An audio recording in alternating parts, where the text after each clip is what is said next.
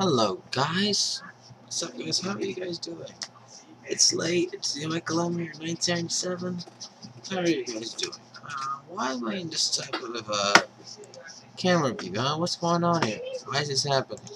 Well, um, let's just say this, I'm doing movie reviews again, vlog movie reviews, I'm going to be doing it like this from now on, because I don't want to waste time setting up a camera, turning the lights, carrying the camera out, putting camera on screen, viewing my face, go blind. I'm not gonna with that for now, okay? Okay. So, so, whatever. I'm not doing that type of explanation. So instead, I'm gonna be doing a simple vlog review. Vlog review. Um, today, vlog review. Today I'm reviewing, yep, that film is being critically panned Fantastic Four. Sure, this is my freaking ticket right here.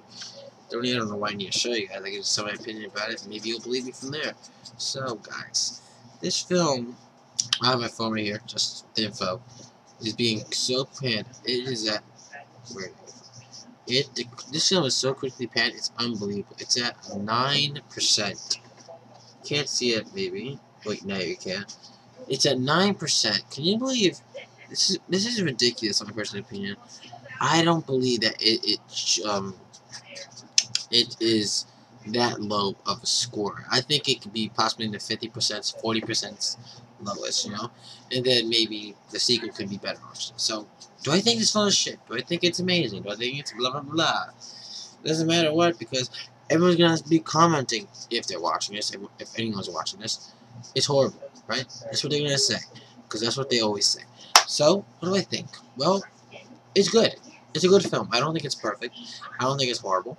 I'm in the middle. I'm not in the middle of the road. I'm a little bit higher than the middle of the road. So, um, I really had a lot of hopes for this film because the trailers really did build up the film a lot, and I kind of like the people behind the camera. Josh Trank, for example, the director of this film, a co-writer, he was uh, the guy who did movie Chronicle, which I recommend you go see. It's a found footage uh, science fiction superhero movie. Woo! Which um, which one of those found footage films that was unique in the time. I really did enjoy it. It's one of my favorite found footage films out there. Uh, I think it's one of the best actually out there. Buy right now. Just enjoy. You know. Um, so what do I think about uh, Fantastic Four? His follow-up. I really did enjoy it. Everyone else hated it. Big deal, right? Doesn't matter what they think. What matters is how I feel about it right? So I'm going to talk about the film. This is a, I'm doing a spoiler review, and I'm going to be doing non spoiler, a spoiler discussion, and a non-spoiler discussion. You're watching non-spoiler right now. So, so Fantastic Four deals with four different characters: Reed Richards, Sue Storm, Johnny Storm, and Ben getting getting superpowers and going up against a former friend of theirs, Victor Von Doom, who gets the same power, who gets powers as well. But what happens? It deals with a realistic science fiction type of mix into it, right? But science fiction can never be realistic, except you do not do what the other films did. Uh, the, the critically attacked as well Fantastic Four films in the past. That shows a five. You don't go into space and get hit by cosmic rays somewhere. We're not doing that. Instead, the film does this cool idea of doing interdimensional travel which Reed Richards has started developing when he was a fifth grader, when he was in, that young. And, it continues with him getting older and still trying to make it.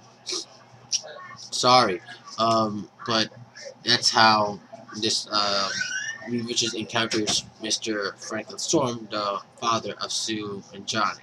You know, so what happens next is they go into the the, the teleporter they get, uh, they go to this next other dimension. What happens is the shit hits the fan, basically. They all get powers, and then they all show in this weirdly good look, sci-fi horror looking vibes, which I really like, which really works for me. And the film goes on from being uh, a science fiction discovery story to a superhero film. Which fine with. It has to become a superhero film at one point, right?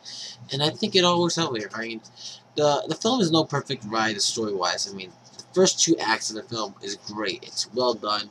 It was well done building it up. But then the third act is where the film didn't fall apart, but was kind of a mixed bag in my opinion. I like the setup towards the end. But I don't like how, and I like the beginning of the third act. Whew. Hmm. But I didn't like the epic finale of the, the third act, like the battle. I'll explain why in a little bit, but let's talk about uh, performances overall, right? Perform overall, performances in this film is top notch. I think Miles Teller, Kate Mara, uh, Michael B. Jordan, and Jamie Bell, who does motion capture for this film, they all do a great job with their roles, even though the roles aren't really equally uh, given enough time. They do uh, do the best they can with the amount of subject material they're given. And I believe that the subject, the material that each were given was well done. The writing was real nice for, but uh, except for the third act. Uh, woo! I'm sleeping. I'm sleeping. I'm sleeping. Okay, sorry about that.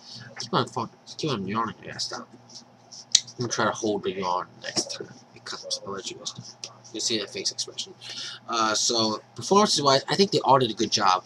Um, I think it was uh, well done with the performances. I mean, the casting, I think, was well done here. I, I did like it.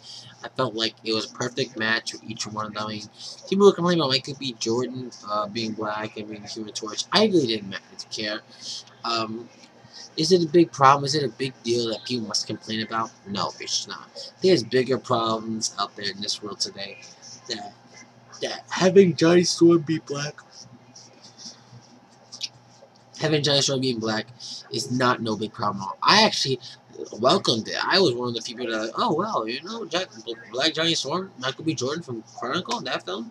Oh yeah, I like that idea because uh, he worked with the original director, the director of this film, Chronicle, uh, Josh Trank. So I felt like performance-wise, it all well done. The Thing, which was done by Jamie Bell, had to do motion capture. He really did look awesome. Like, I liked how the Thing looked. He looked, like, straight from the comic book. He, and some critics were complaining about the Thing itself, for that the Thing is not, like, photorealistic like the Hulk.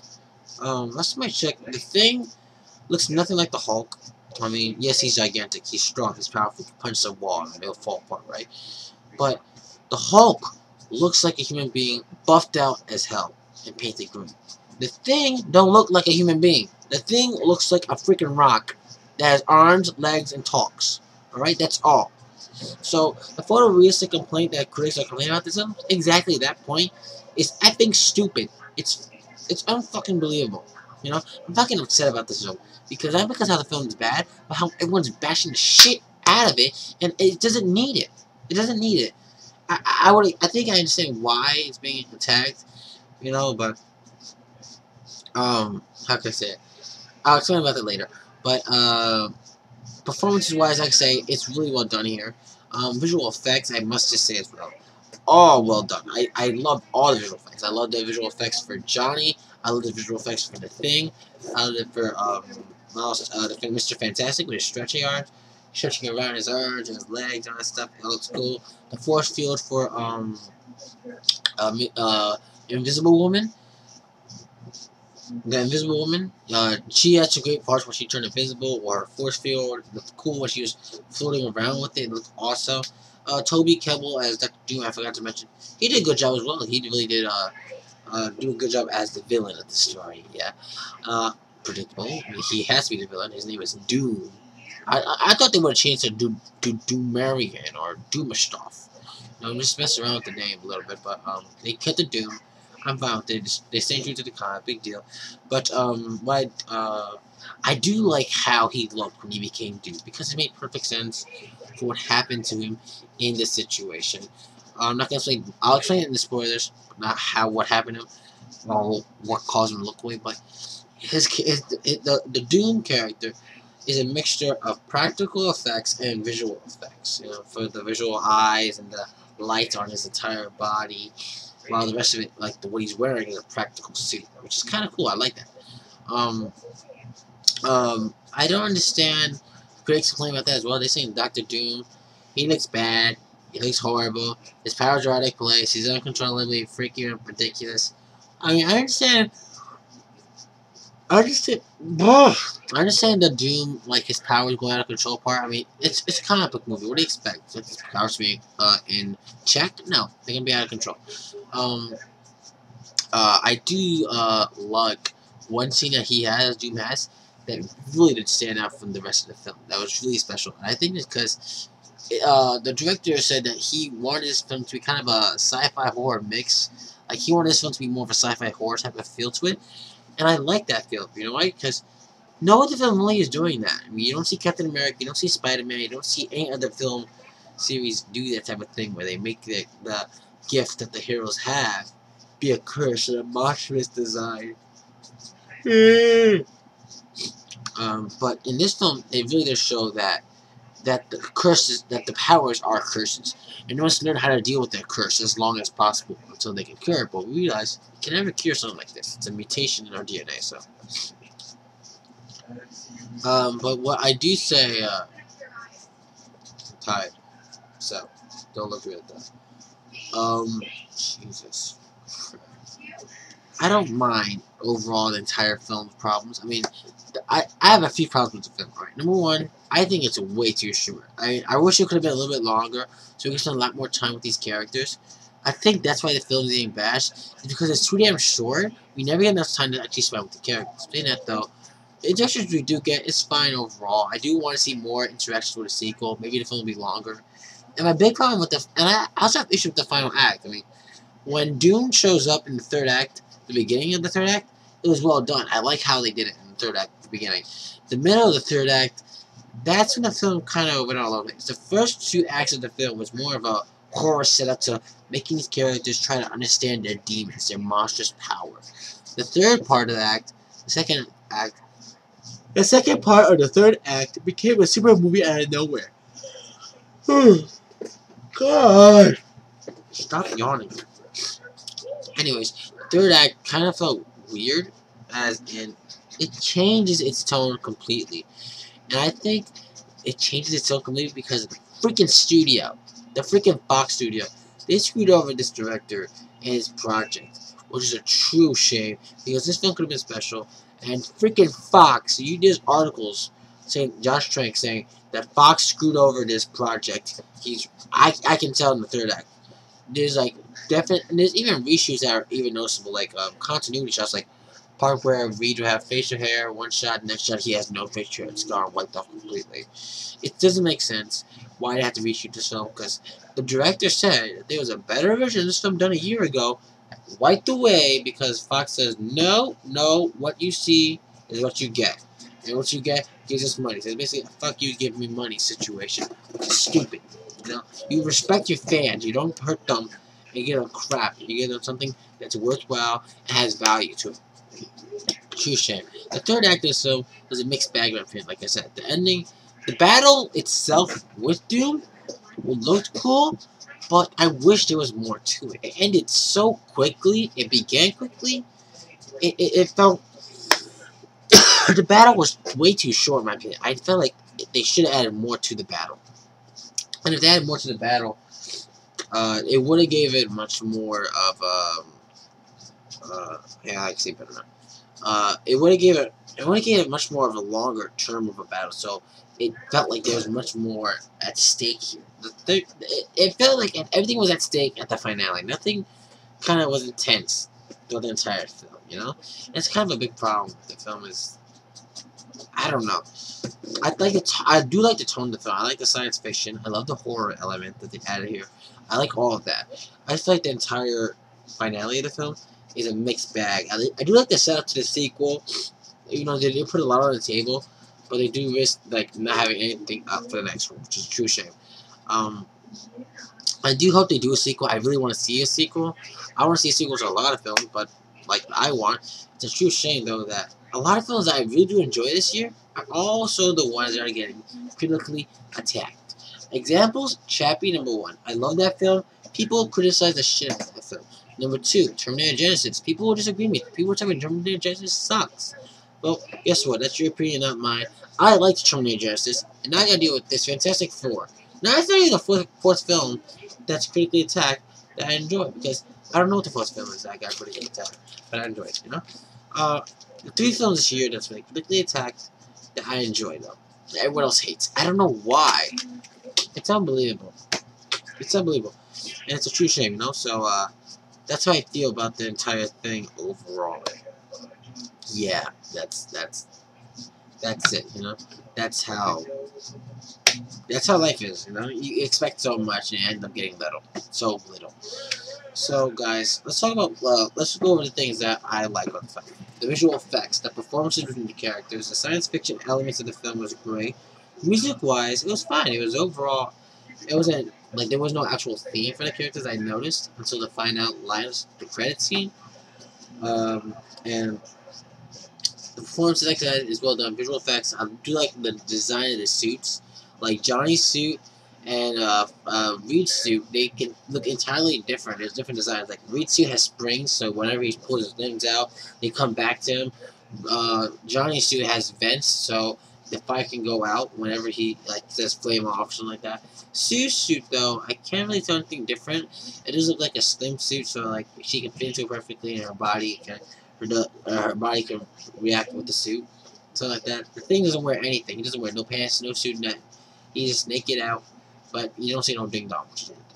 Um, so guys, uh, also, don't wait for anything on the credits. There's nothing on the credits. There's no little end credit scene.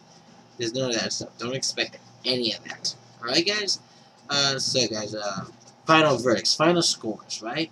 I was, I was really, I was stuck in what to give this film, right? I was like, ah, what do I give this film? Uh, I know I'm going to give it anyways. I said it earlier. I didn't say it, but I posted a, a, a post online.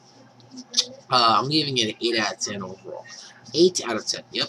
Uh, 4 plus 4 out of 10. 8. So uh, I think it has a lot of good ideas. I hope it lives up. When the sequel comes out, when they do a sequel, do a damn sequel. I don't give a shit what happens. Do a sequel. Do a sequel. Do a sequel see what happens out of that, and then decide. Because I want to see a sequel to this book, because they leave so much up at the table. I want to see more, you know? Same thing I want with Ant-Man. I want an Ant-Man too, you know? And it's hard to get those things because it depends on people's costs. And I hope this film does well. I mean, the film, I think, has to make $300 million just to be safe, you know?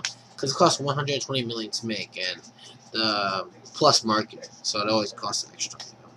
You know, it sucks because I wish this film does well enough to make a sequel, and I want a sequel, you know, so please, give me something good here.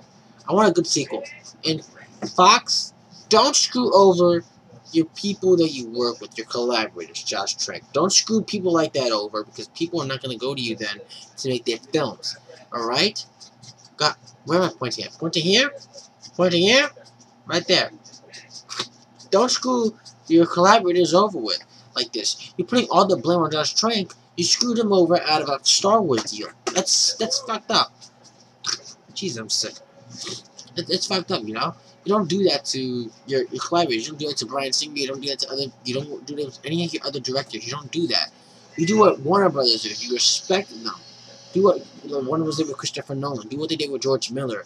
I could go on and on with the with the list of those. You know, respect your, your collaborators and they give you great material. They will respect you. They'll say good things about you. But if you do what you did with Josh Trank here, they're to trash you and say you screwed up their vision like he's saying on Twitter. Until he deletes those tweets. Because I don't know if he has to stand to it or if you guys are to attack him or do something to him, you know? Just don't screw him over, though, guys. It's, it's fucked up. It's really fucked up, Fox. You really fucked it up. Alright? You know, fucked it up. And that's why everyone's hating this film. That's why all those motherfucking critics out there, all those viewers, those viewers who are watching this, they're gonna listen to the critics, and then your friend, and then you're wondering why no one will see Fantastic Four. You're wondering that. You know? Alright, I might do three videos. What Fox, Fox leave the collaborators and the, the creators alone. Number two, I'll do a spoiler discussion, and I'll just do this. Okay, guys? I'm done. Alright, I'm tired. I want to take a nap. Alright? So please like the video, comment below, and subscribe. Follow me on Facebook as Michael Martinez. Follow me on Twitter as ZMichaelM1987. I'll see you guys on the next episode of ZMichaelM1987. Alright guys, see you next time. Bye bye.